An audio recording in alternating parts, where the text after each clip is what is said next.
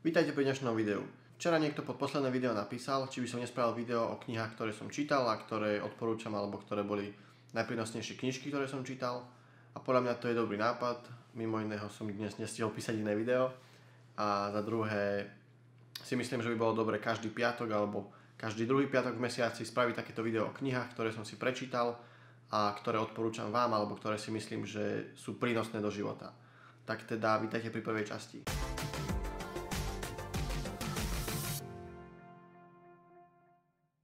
Dnes si povieme o piatich knihách, ktoré nie sú vôbec zoradené podľa obľúbenosti alebo podľa toho, ktoré by ste si mali prečítať. Takže sa vám kľudne môže tá posledná časť, tá posledná kniha páčiť najviac, takže to je úplne jedno. Zoradil som ich, ako vravím, nijak, takže išiel som podľa toho, ktorá ma napadla ako prvá. Prvá kniha sa nazýva Odvaha nebyť obľúbený a je to táto tu kniha. Napísali ju, počkaj, či to zaostrí, toto tu. O, napísali ju autory Ichiro Kishimi a Fumitake Koga. Radšej to nebudem čítať ešte raz. No. A táto kniha je písaná formou rozhovoru. O, rozhovor bol medzi mladíkom a starším filozofom. Tým, že ten mladík prišiel za filozofom, pretože sa dopočul, že o, tvrdí, že život je jednoduchý a že každý môže byť šťastný. No a tak nejak v skratke ten mladík tomu neveril a chcel ho akože vyviesť z omilu a chcel sa s ním, nie že hádať, ale proste chcel ho vyviesť z omilu a dokázať mu, že nemá pravdu ten filozof. No a počas celej tej knihy vlastne sa o, filozof rozprával s tým mladíkom a mali debatu o rôznych témach. O, niektoré možno sa zdali trošku divné, ale niektoré, niektoré rozhodne dávajú zmysel, keď sa nad nimi zamyslíte. O, z tejto knihy som viac menej čerpal aj o, pri tom videu so šťastím, keďže hovorili tam aj o šťastí, aj o tom, že šťastný môže byť každý, len sa musí proste na to zamerať, že chce byť šťastný a nehľadať si nejaké zamienky, že prečo šťastný nemôže byť. V celej tej knihe sa odvíjali tie myšlienky z individuálnej psychológie. Kto nepozná, tak je to psychológia, ktorú viac menej založil Alfred Adler. To je trošku menej známy kolega Freuda. Z toho vychádzal ten starý filozof, lebo on sa zaujímal o filozofiu, ale aj o psychológiu Adlera. Myslím si, že to je veľmi dobrá knižka, určite sa ju oplatí prečítať si ja konkrétne som čítal knižku po česky, pretože slovenskú verziu som nenašiel. Na anglickú verziu by som dlho čakal, takže som si zobral po česky. Napísaná bola dobre, takže podľa mňa, podľa mňa super kniha. Druhá kniha je asi trošku známejšia, teda aspoň ja som ju poznal predtým na rozdiel tej prvej a volá sa Atomové návyky. Atomové návyky, ako som už povedal, o, napísal James Clear. Mimochodom, ak niekto máte Twitter, používate ho, alebo ho používate aspoň raz za čas, tak určite odporúčam, dajte follow tomuto chlapíkovi, čo napísal túto knižku. O, hrozne často píše dobré statusy, alebo teda tie tweety, v ktorých má také malé tipy alebo triky, alebo nejaké pohľady na život, ktoré sú podľa mňa veľmi dobré. A myslím si, že už len, keď, už len kvôli tomu sa mi oplatilo prečítať tú knihu, pretože som natrafil na niekoho, kto na sociálne siete prispieva niečo normálne alebo niečo pozitívne čo zlepšuje život ako na rozdiel takých, viete, iných statusov na Facebooku. V tejto knihe autor viac menej vysvetľuje, čo sú návyky, ako sa vytvárajú, aké, ako návyky vplyvajú na náš život, či už pozitívne alebo negatívne. Rovnako tam vysvetľuje, aký význam majú čo len veľmi malé návyky v priebehu celého života. V niektorom videu som už tu, tuším aj spomínal takéto, nie zákon alebo pravidlo o 1% lepší každý deň a zrovna tento obrázok som mal na mysli. Tu je vlastne nakreslené, že ako, ako dopadne človek, keď spraví nejaké rozhodnutie, ktorým sa bude trošku o, o veľmi málo každý deň zhoršovať, alebo keď sa bude tým rozhodnutím zlepšovať, čo len o malý kúsok. Takže neviem, či to bolo zrozumiteľné z toho, čo som povedal, ale, ale už som to niekde spomínal, ako vidíte, mám tu veľa poznačených týchto papierikov farebných, takže som si z toho robil záložky. Z tejto knihy som chcel spraviť viac videí, ale nejak som si myslel, že to bude skôr horšie ako lepšie, pretože si myslím, že to nevysvetlím tak dobre ako ten autor v knihe a nechcel som zase spraviť video, ktoré by bolo presne skopírovaný obsah knihy. V tej knihe je určite hrozne veľa dobrých vecí. Opisuje rovnako nielen ako môžeme zahodiť staré návyky, ale ako môžeme vytvoriť nové a vytvoriť ich tak, aby, aby sa z toho proste začal zvyk. Hej.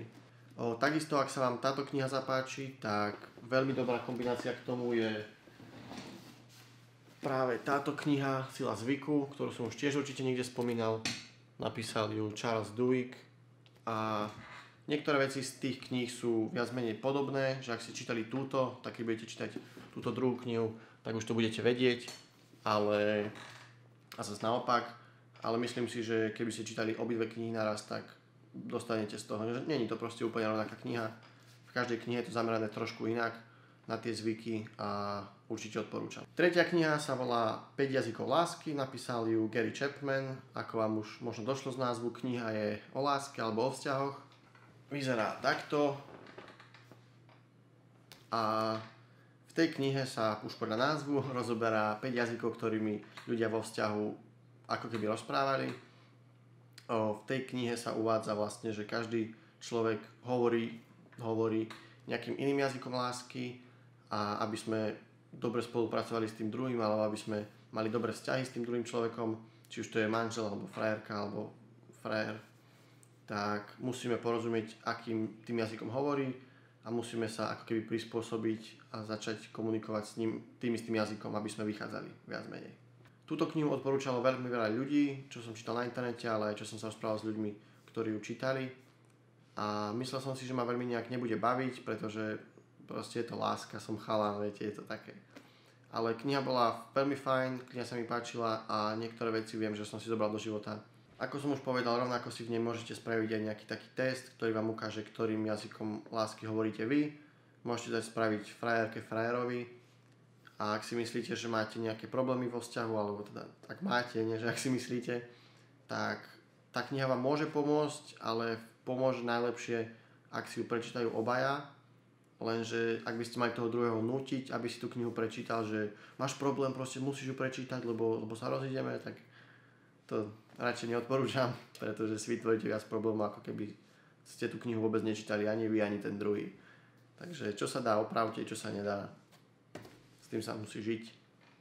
Štvrtá kniha sa nazýva Vojna umenia, napísal ju Steven Pressfield. Túto knihu tu nemám v poličke, pretože som ju čítal, respektíve počúval ako audioknihu, ale viem, že je aj vo forme tlačenej.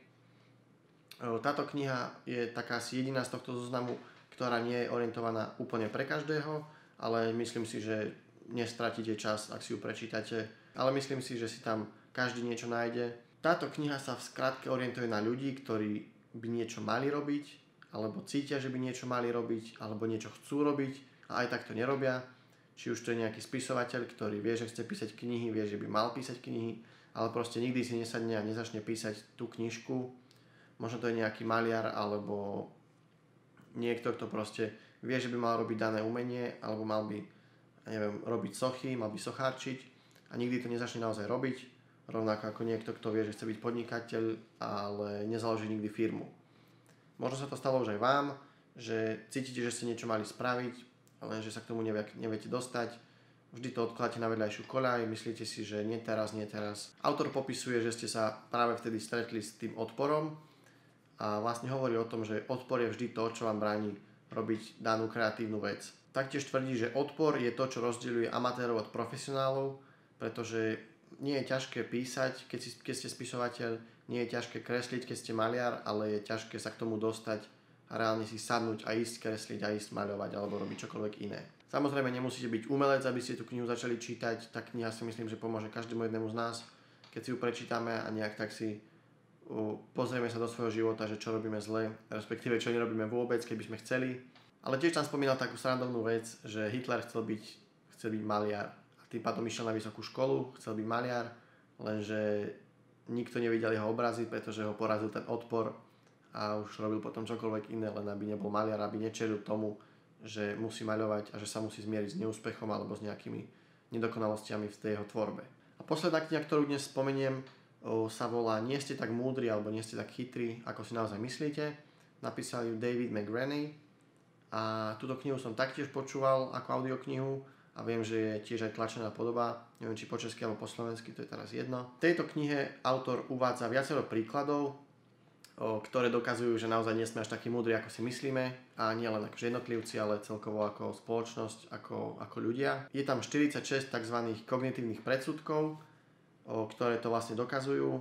Či už to je to, že si myslíme, že vieme, keď klameme sami seba, alebo že si myslíme, že všetky naše názory sú objektívne a sú správne. Rovnako spomína aj to, že si myslíme, že prokrastinácia a to, že odkladáme veci na neskôr, je, dô, je výsledkom toho, že nevieme manažovať svoj čas alebo že sme leniví. Kdežto v skutočnosti to je tak, že sa nám nechce čeliť tomu, že by sme niečo nevedeli spraviť, alebo že sa proste bojíme rozmýšľať o tom, ako by sme to mali robiť a že sa nám proste rozmýšľať nechce. Všimol som si, že to je veľké pravidlo u mňa, pretože najviac som prokrastinoval, keď som mal robiť niečo do školy a jedna vec je, že sa mi to nechcelo robiť, lebo samozrejme komu sa chce niečo robiť do školy, ale druhá vec je, že som mal robiť niečo, čím som si nebol až tak istý, nebol som si istý ako začať a vždy, keď som už začal a už som vedel, že dobre, spravím to, nech to je, či už možno, že nebude na jednotku, možno to bude na štvorku, ale už to proste spravím, tak vtedy to už išlo lepšie. Proste najťažšie bolo začať vždycky a myslím si, že to je presne z toho dôvodu, že sa nám nechce rozmýšľať nad tým, ako to spraviť, nechce sa nám rozmýšľať nad tým, ako rozmýšľať v podstate. Takisto autor vysvetľuje efekt okoloidúceho, ktorý vysvetľuje, prečo človek dokáže vykrvácať na ulici plnej ľudí a nikto mu vlastne nepomôže. Možno ste o tom už počuli a vlastne z tohto pravidla alebo z tohto efektu sa vytvorili aj také tie triky, ktoré možno už viete, že ak máte nejaký problém na ulici, alebo sa vám niečo stalo, alebo vám je zle, alebo vás niekto okradol, tak vždycky radšej volajte konkrétne na daných ľudí. Povedzme, že hej ty v zelenom tričku, než keby ste mali volať celkovo o pomoc. Je väčšia šanca, že vám pomôžu, ak budete volať na konkrétnych ľudí ak priamo opíšete toho človeka. Že povedzme ty v tej šiltovke, alebo ty so zeleným tričkom, poď mi pomôcť, alebo že proste pomôž mi. To je lepšie, než keby ste mali volať celkovo na všetkých ľudí, pretože tí ľudia si myslia, že už niekto ide pomôcť, už, už nemusím pomáhať ja. Keď tí ľudia sú v takomto dave, tak si nejak odmietajú prebrať zodpovednosť a nikto tam reálne nepôjde. A je veľa prípadov, kedy proste niekto vykrvácal na ulici alebo proste zomrel na infarkt a nikto mu nepomohol, aj keď okolo bolo milión ľudí a proste mu nepomohli, lebo si mysleli, že netreba, že pomôže niekto iný že predsa je tu milión ľudí, tak niekto mu pomôže, nie? To je len taký trik do budúcna, ak by ste niekde chceli vykrvácať na ulici, hej? Radšej volajte na konkrétnych ľudí. Takže podľa mňa určite zaujímavá knižka, určite odporúčam prečítať si ju, bola napísaná veľmi dobre. Miestami som sa až smial nad tým, ako sme fakt sprostí v niektorých veciach. Niekedy bola písaná naozaj až zábavne by som povedal, ale niektoré veci ma dokázali tak dosť prekvapiť a zaskočiť, že fakt sme len dobre vyvinuté opice. Takže toto bolo 5 kníh, ktoré podľa mňa stoja za prečítanie. Odkazy na všetky knihy budú dole v popise, ak by si chcel niekto prečítať. Ak budete chcieť vidieť ďalšiu takúto časť, tak určite napíšte do komentárov a možno budúci piatok alebo až ten ďalší spravím tiež video o knihách. Možno sa sústredím na jednu knihu, z ktorej spravím taký väčší rozbor alebo znova spomeniem niektoré knihy, ktoré sú podľa mňa dobré na prečítanie. Ak ste tu noví alebo ešte nemáte odber, tak ho proste dajte, pretože, pretože proste ho dajte. Veľmi pekne ďakujem za pozornosť a vidíme sa v pondelok pri ďalšom videu.